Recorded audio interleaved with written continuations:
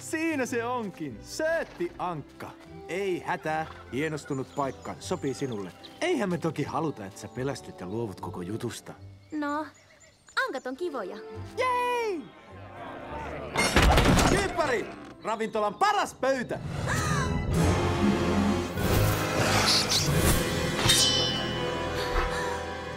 Haistatko?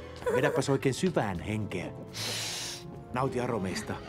Mikä tuoksuu? Minusta! Puoliksi miehen haju ja puoliksi tosi paha miehen haju. En tiedä miksi, mutta jotenkin tulee mieleen ruskea. Mitä sanot?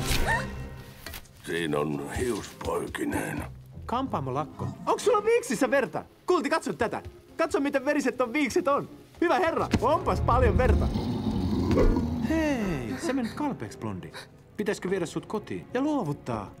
Parempi kai niin. Tämä on viiden tähden kievari sentään. Ja jos et kestä olla täällä, lienee parasta palata torniin. Oot sä toi?